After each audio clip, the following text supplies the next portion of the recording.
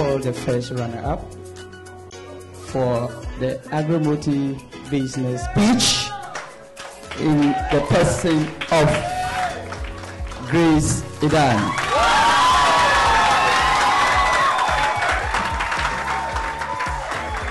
Hello, I'm Grace Ruth Idani and I'm coming from Central University. I'm a final year student in agribusiness management.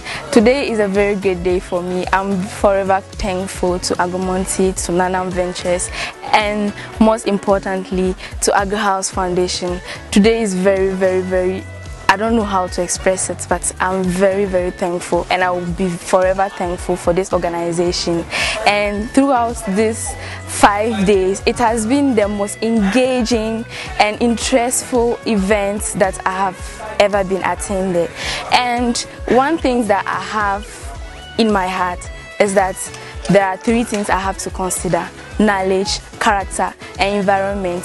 When I, I learned about this um, prize and everything, I didn't want to go, but I realized that character is key to be a successful person. So I just took my courage into my hands and I did. And now I am the first runner of this prize and I'm thankful. And most importantly, I want to say thank you to Lord too. Thank you.